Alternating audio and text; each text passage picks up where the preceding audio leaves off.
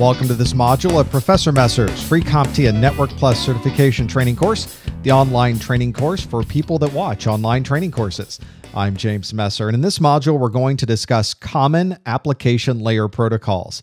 And as crazy as it looks on the screen with all these abbreviations from our section N10 004 section 1.1, we really are going to explain the function of these application layer protocols. Now, you'll notice there's a lot of abbreviations here. A number of these protocols we've already discussed in our previous uh, module that is a part one on link, internet, and transport layer protocols. In this particular module, we're going to focus only on the application layer protocols, and there's quite a few we're going to go through. If you recall our Internet Protocol Suite from our last video, I I organized this big grouping of all of these jumbled letters into these different categorizations. And this follows our Internet Protocol Suite at the link layer, the internet layer, and the transport layer. So this module, we're going to focus solely on all of these different protocols that happen to be right up here at the top at our application layer. There's quite a few application layer protocols to look at. What we've really tried to do is separate each one of those protocols that we have at that layer into different categories. And so what I did was break these out into management protocols, remote communication protocols, file transfer protocols, mail protocols, browser protocols, and voice over IP. And in each one of these categories, there are different protocols in use. We're going to step through every single one of these. So at the end of this, you'll not only know what that protocol does, you'll know, oh, that's for browsers or that one's for voice over IP. And that'll really help you when you start working on the Network Plus exam and you're presented with what is TFTP? Well, it's used for files. And that might help you get through that particular question on the exam.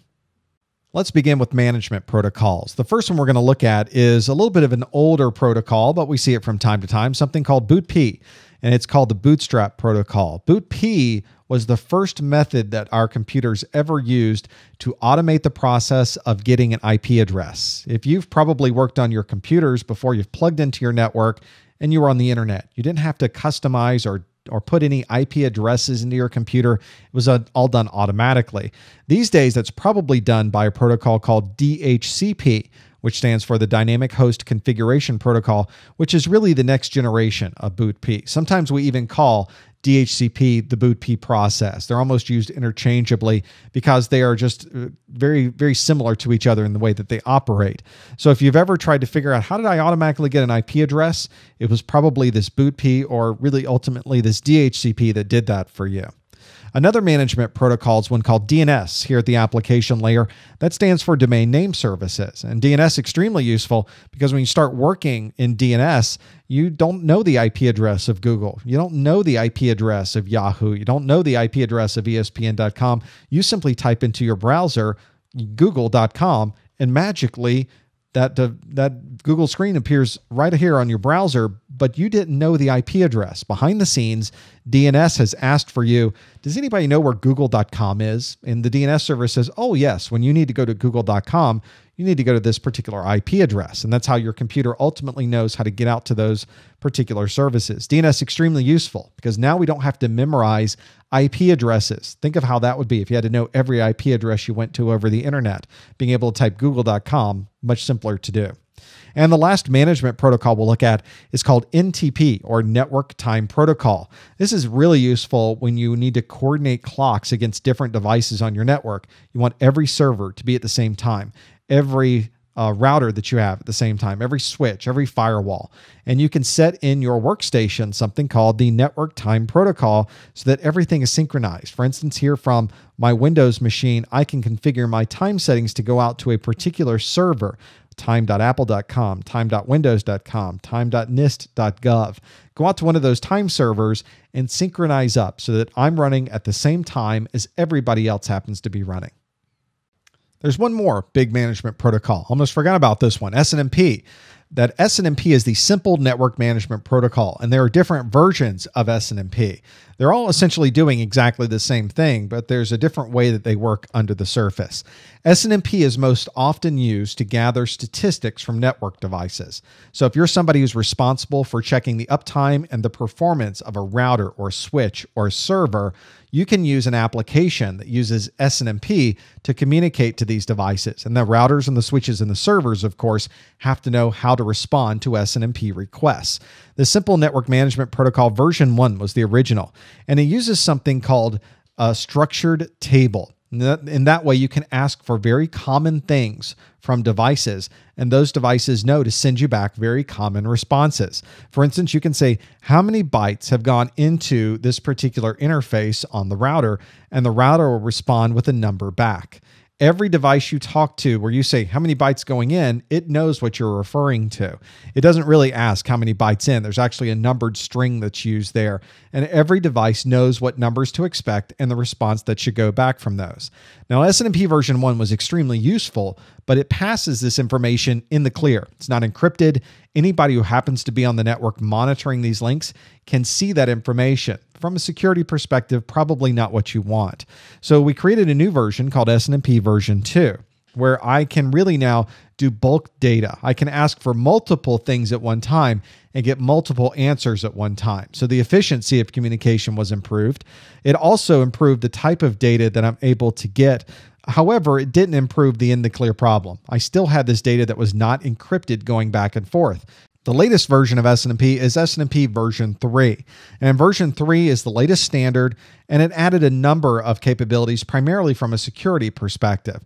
The first thing it did was add message integrity. When we receive an SNMP response, we know that the data within that packet was not modified. What was sent was actually what was received. We also know that it's authenticated. We know when we receive the data, we can do a check and make sure that the data that we received really did come from the person that we asked. Nobody modified it in the middle. It wasn't returned to us from another device that we weren't expecting, really is authenticated. And perhaps even more importantly, the data can be encrypted so that as we receive all of this really important management data across our network, somebody might be able to go into the middle and grab that data, but they won't be able to make heads or tails of it. Completely encrypted. The only people that are going to be able to read that is the workstation that receives it on the far end, the ones that's designed to receive that management data. So much more secure and in very large enterprise environments, they really like to use that SNMP version 3 primarily for those security reasons we have another category of remote communication protocols. And remote communication protocols allow us to communicate out to other devices and receive information about what's going on out there. And if you're somebody working on a network, you may have tens or hundreds or thousands of devices over the network. You want to be able to sit at your desk and be able to communicate and manage any of those. One common protocol that's used for that is something called Telnet, which stands for Telecommunication Network. That allows us to access devices remotely the the issue with telnet and the reason you don't see it used very much anymore is that it is completely unencrypted there is no ability to encrypt any of the data in there. So you really don't see this in large environments. You really don't see it in small environments these days either.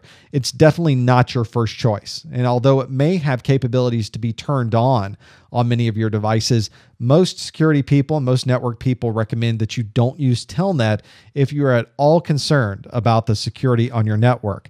A better way to do this is something called SSH. SSH stands for Secure Shell. And that's really what most people, most networking professionals use to be able to communicate out to those other devices. It looks the same as using a telnet, it gives you the same interface as telnet, but the communication between your device and the device on the other end is completely encrypted. So that if anybody did tap into that connection, they would not be able to see your username, they would not be able to see your password, they would not be able to understand anything that you happen to be doing on that network because it is completely encrypted between those two devices. We move files quite a bit on our network, and so there are application protocols that are specifically designed for transferring files. One very common one is called FTP, which stands for File Transfer Protocol. This allows us to take a file that's on our machine and transfer it to another device. So this isn't that terminal screen where we're typing in commands. We're actually taking an entire file and transferring it across to another device. And FTP requires that there's a username, that there's a password, there's an authentication method that's used when you send that packet and all of those files to another device. There's a lot of functionality in FTP. I can list what's on a directory on the other side. I can add files, I can delete files, I can rename files. It's all built into this really comprehensive file transfer protocol application protocol. There's another file transfer protocol called TFTP, which is Trivial File Transfer Protocol. And just like the name implies, it's a much simpler way of transferring files back and forth.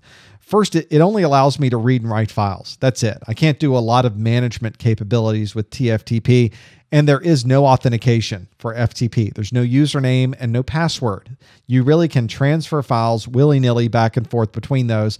You really don't see this used much on production systems because you don't want people transferring files back and forth with no authentication. You would like everything to be done all with some management, some authentication, and some security involved on the back end. If you've ever used file transfer protocols, either at the command line or in a graphical environment, here's a really good example. You have all of your files on your side, on your machine, and can simply drag them and drop them into some directories on the other device on the other side. So whether you're working in a command line or a graphical mode like this, behind the scenes, it's still using the file transfer protocol. And if you look here at the top, you can see some status commands, some commands, and some responses. Those are the FTP commands going back and forth. And it's really just put them up here into a human readable form so we can watch what's happening as FTP uses its management protocol back and forth to transfer those files. Where would we be if we did not have our mail? But the mail itself uses a number of application protocols to be able to send our email back and forth between devices. The one that's commonly used for transferring files from one device to another, one server to another, is something called the Simple Mail Transfer Protocol. And this is between mail servers. We don't often see this at the workstation level. When we send mail, our mail server needs to communicate to another mail server, and it uses SMTP to be able to do that. We have a protocol that's used on our workstation when we need to get our mail from our mail server. We use something called the post office protocol. And the latest version of the post office protocol, or the most common one that we use, is POP3, Post Office Protocol version 3. What we really do is connect to our mail server. We say, please download all of the latest mail to us. I'll store it locally here on my machine, and then I'll disconnect. Really great if you're remote, if you need internet intermittent connectivity to your mail server. It's really designed for simple retrieval of mail, pull it down and have it local on my machine. These days, we almost need a more centralized way to work, though. And so, another mail protocol is called IMAP 4, the Internet Message Access Protocol version 4. Now, POP3 may be more popular, but IMAP is certainly more functional. It allows for flexibility and connectivity, and it keeps state in our mail. We can keep our mail centralized on a server and simply use IMAP to read the mail, set it as read, set it as unread, reply to mail. I can then go to another machine, another device, and connect to that same IMAP, and I can see the state of all of my mail. It's exactly the way I left it. I don't have to have one central database that has to follow me around everywhere I go. And that's why you'll notice a lot of internet protocol, uh, internet management devices, uh, internet service providers, they will use IMAP because it just extends and, and is much more functional, much more flexible than using something like POP3. If you're configuring the mail on your machine, for instance in Thunderbird, Here's a good example. It says select the type of incoming server you're using. Are you going to be using a POP server or are you going to be using an IMAP server? So you're going to want to ask your mail provider, your internet service provider, whoever you get mail from, can this do POP or does this do IMAP? Or do I have a choice? Can I use either? and you may want to decide to choose IMAP over POP3. That's exactly where you'd see those protocol names pop up.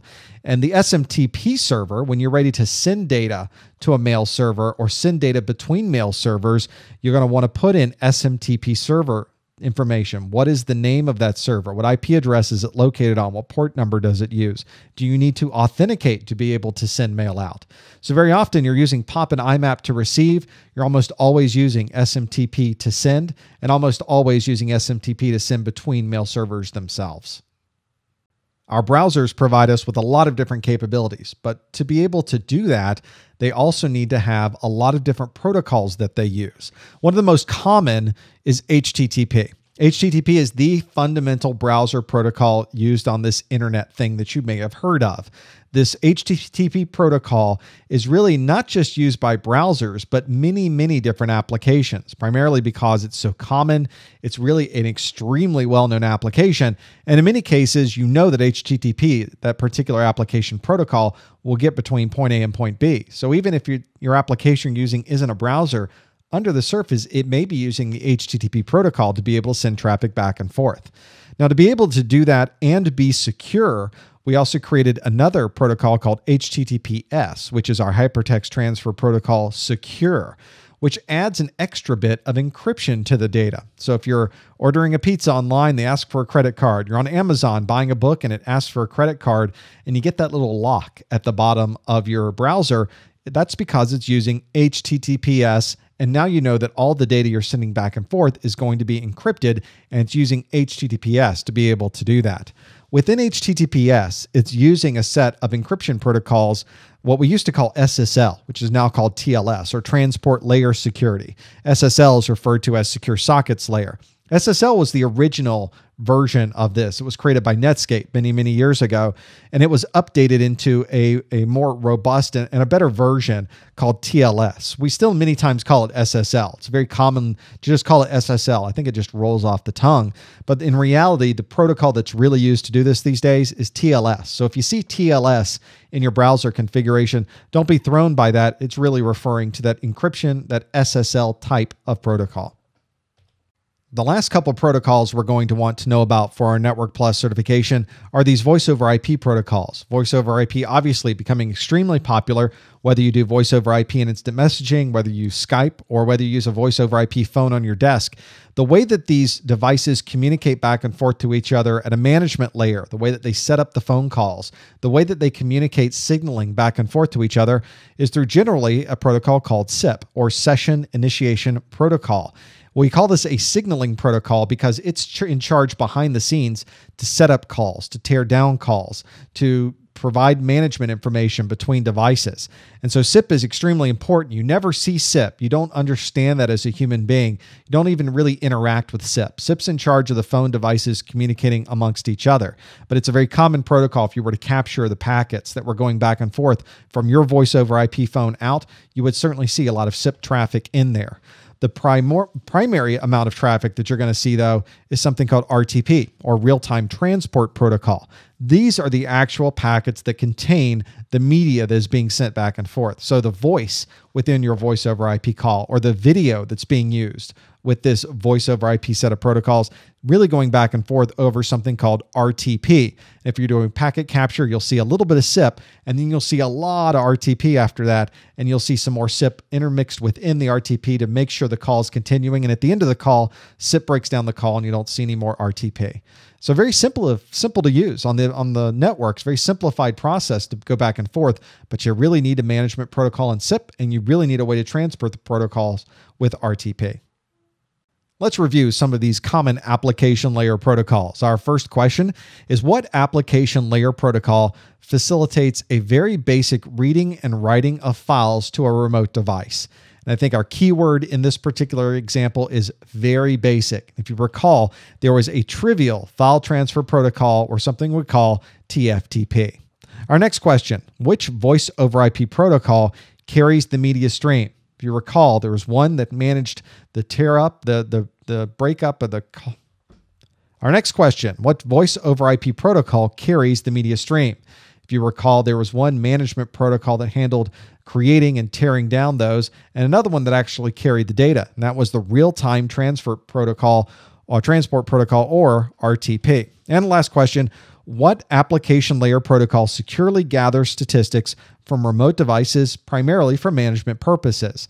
Very simple protocol called Simple Network Management Protocol version 3. And that's the one that really gets that secure piece in that question, adds that authentication and integrity and the encryption to the SNMP communication. Well, that covers everything we need to know about our common application layer protocols. We've taken all those crazy acronyms. Now you should have a pretty good idea of exactly what all of these things do. If you'd like to see any of our other Network Plus videos, you want to participate in our message boards or much more, you can always visit our website. Head out there to freenetworkplus.com.